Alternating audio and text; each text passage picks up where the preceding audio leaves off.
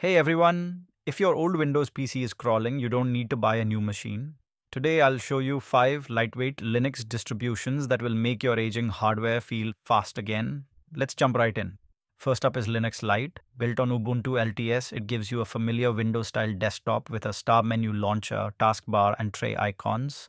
You get LibreOffice, VLC, GIMP, and Thunderbird right away, plus custom tools, Lite Software, Lite Tweaks, and Lite Updates to manage apps and system tweaks.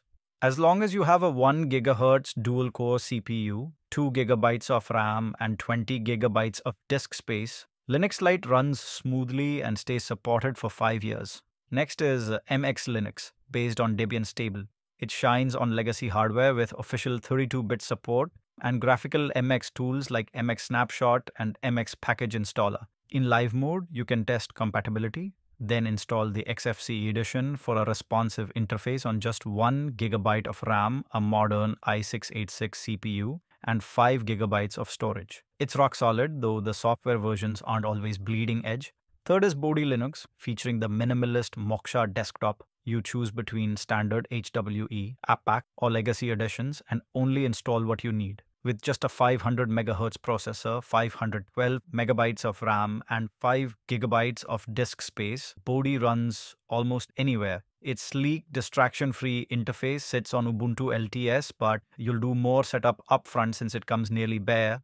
Peppermint OS takes a cloud centric approach. The Kumo app wraps web apps like Google Docs or Spotify Web so they feel native, saving resources. Based on Debian Stable with XFCE, Peppermint needs only 1 GB of RAM, an Intel x86 CPU, and 10 GB of space. You'll add apps manually, but if you spend most of your time in a browser, this distro is a perfect fit. Finally, Linux Mint XFCE Edition gives you Mint's polished experience with fewer demands. You get the Mint menu, Software Manager, and pre-installed essentials, LibreOffice, Firefox, VLC, GIMP, running on 2 gigabytes of RAM and Intel x86 CPU and 20 gigabytes of disk. Is a large community and clear documentation make it ideal for first-time Linux users.